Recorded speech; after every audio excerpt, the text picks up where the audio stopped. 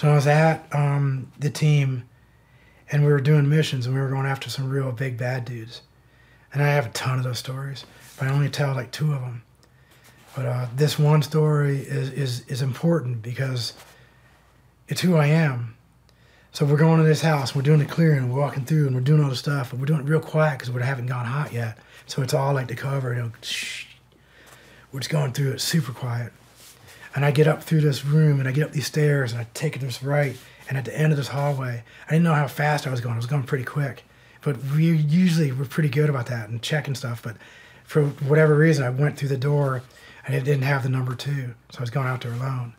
And uh, out on this rooftop, so it was a door that opened out on a rooftop.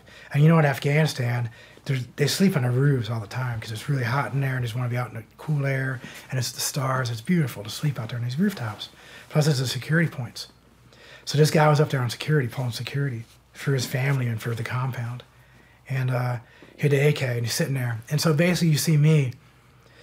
I'm have all the best equipment you know, the lasers, the nogs, the night vision, you know, all the stuff. And I'm using some terminology that, but night vision and lasers and the gun, and it's totally prepped out my body armor. And we have our radios on the sides the antennas and all that stuff.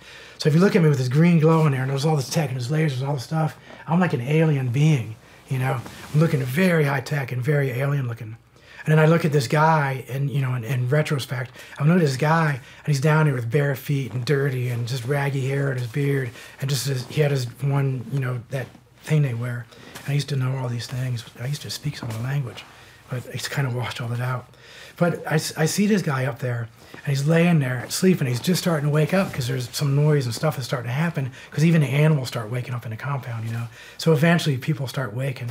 And the guy's just getting up and he sees it and he starts and he's reaching up and he's got his AK, starts coming up me. But I'm already off safe and I'm figuring I'm going. I it was a split second. I mean, I set a record in at Shaw's shooting, you know, camp, you know, the the plate shooting. I'm on that top ten because I'm a fast shooter, and so I'm sitting there just waiting. I'm just there, and uh, dude's getting up and he's swinging up, and I'm going, don't, don't. And I'm, going, I'm just looking at him, going, don't do it, don't do it. I'm in my head and I'm just praying. It's like all of it's going, all my energy is going to that guy. Drop it, drop it, drop it, drop it. And it's like such a close. And if he was just like this much further with that barrel, and I was just like watching all of it, why was I doing that? No rules of engagement. I could have taken him right when I walked out on there because he was up there in security and had a gun next to him. Done. But I didn't. I was going towards him. I was still walking towards him, closing the distance. And then the guy just like right there goes and he drops it because he, he saw it. So it's alien versus caveman. And I'm sitting there for about whatever seconds it took me walking towards this caveman as an alien. Different language, different religion, different culture, different everything. Super high tech and this guy with dirt. Why, why was I doing that? For seconds, I was walking towards this guy. Didn't shoot. I could have. I was allowed to. Should have. I actually got in trouble because there was guys on other rooftops and there was other stuff going on in the compound. And one guy, and I can't remember um, who it was. I could if I really thought about it. But he saw what was going on on my rooftop. He saw across because it was only maybe as wide as this room. It's not huge distances. So he saw what was going on over there. He saw it. And when we got done with the whole thing and the guy was cuffed, because basically he dropped a gun and I, and I kicked it away and I cuffed him up against the wall. And because I did all the bit, I did all the interrogations. So because I was ASOT type guy and I did all that stuff. So I was also the interrogator. So I'm talking to this guy through my terp. And because I was like that agency ASOT guy, I always had a terp because I was always doing this stuff. So he's my terp. And uh, so interpreter. So he was the guy that did all the local Pashto. And I spoke some of it, but not all of it. He, um, I don't even speak very much at all. So team guy, you know, mm-hmm. you know, hands up and where's the bomb and this stupid stuff. But, um, I was talking to him, and he just seemed like a pretty good dude. This is after all the action, after everything was done, and everything's. So I'm just talking to him, and I'm getting intel, and I'm trying to work with him, and uh, he didn't know anything. And the guy was like, he was not anybody we'd ever want, and I was like, just leave this guy. And then one of the other guys was like, no, we should take him, you know, get one. You got a guy, and he had a gun. He was security. I was like, no, man, I was gonna leave this dude. And so because I was had enough voice over it, because I was the interrogator, I was the guy doing all this stuff, but I was also the guy that ran source operations. So I was the field officer, you know. I was a recruiter, you know.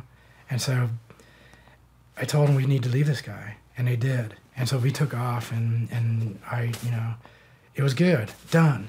You spared his life. Spared his life. But it was seconds of me walking up on him. Two weeks later, I'm walking through a bazaar.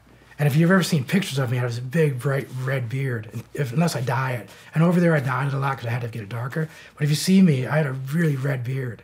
And he used to call me Redbeard or Caveman. So it was always something about that.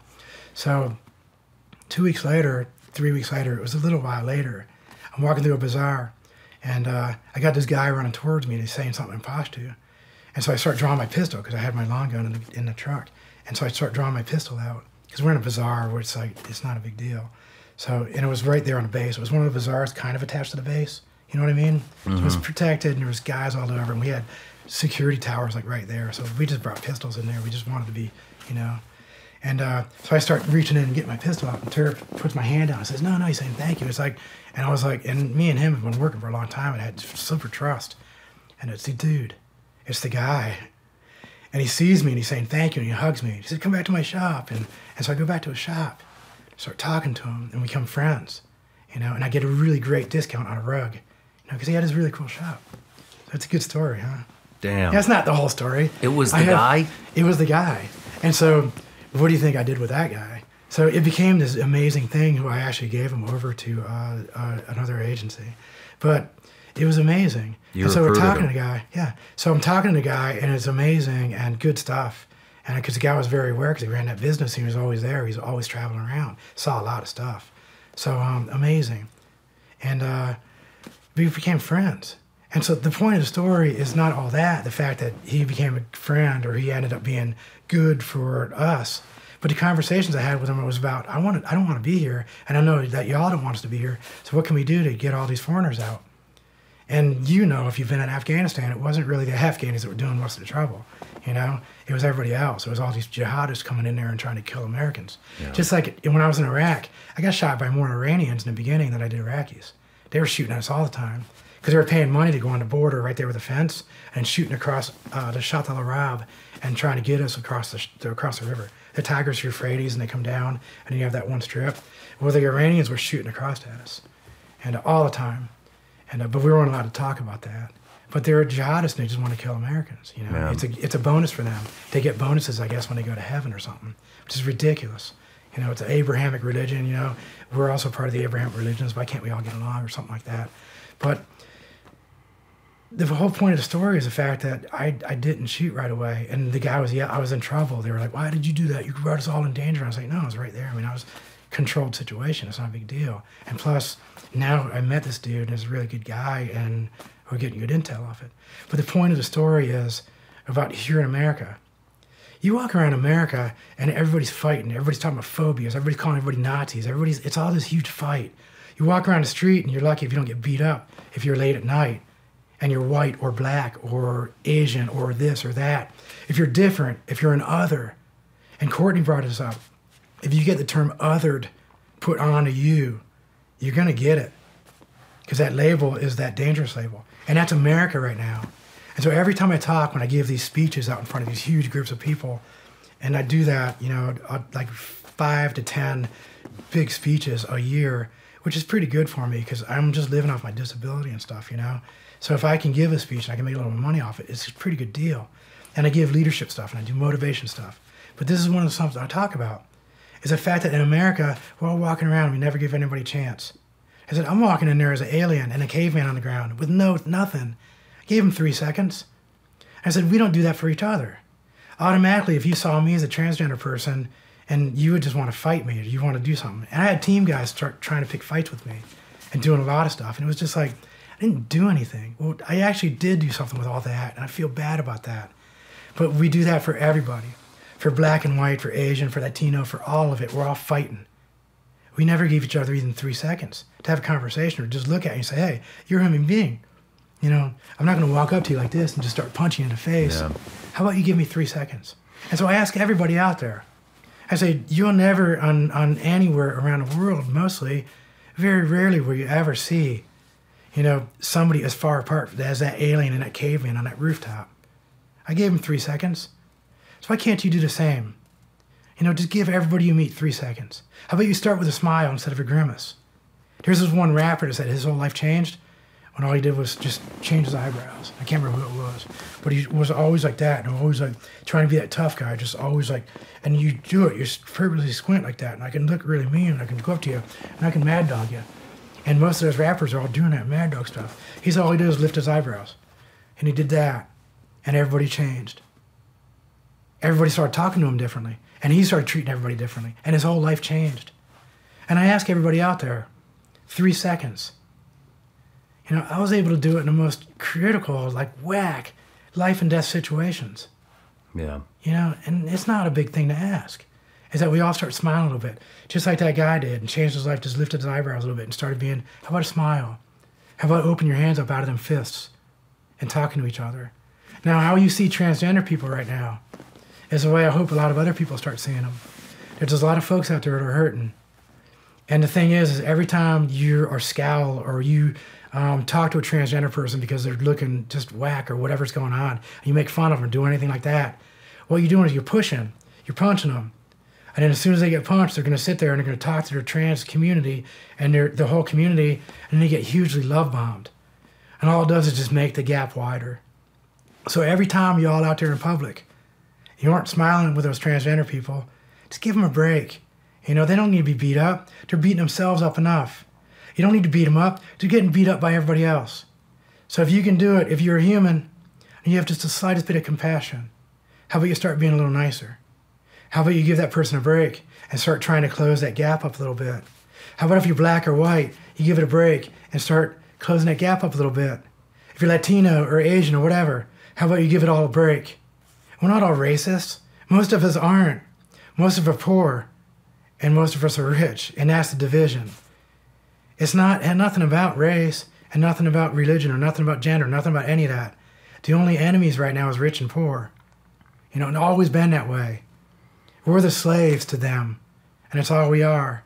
And so if we start looking at each other and start saying, "Hey, we're the same," "Hey, dude, you're you're good. You're a good dude. I've talked to you now for three seconds.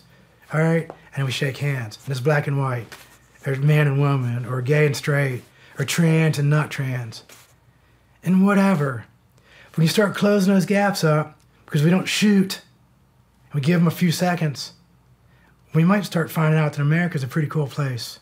Yeah. But right now it's a cesspool. Right now it's all fights. And CNN's doing it, and Fox is doing it. And all we're doing is fighting. And we got to stop that.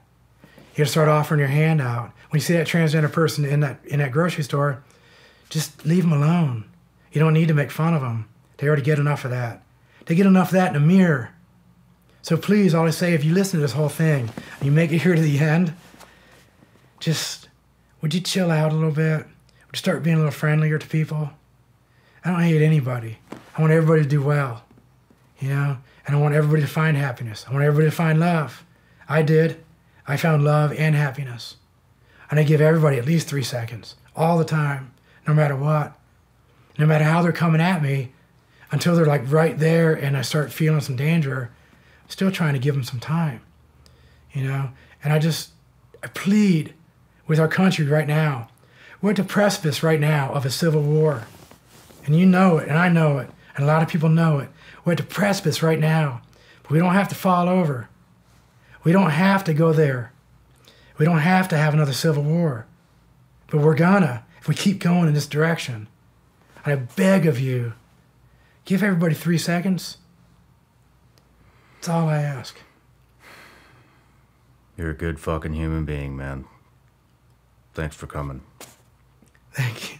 Trying, man. I'm trying. Hey, everybody. I'm Shawn Ryan. Click here to subscribe to the Shawn Ryan Show YouTube channel for the hottest and most compelling interviews that you will not see anywhere else. I've also made a playlist of all the previous SRS episodes so they're easy to find. You can find that right here.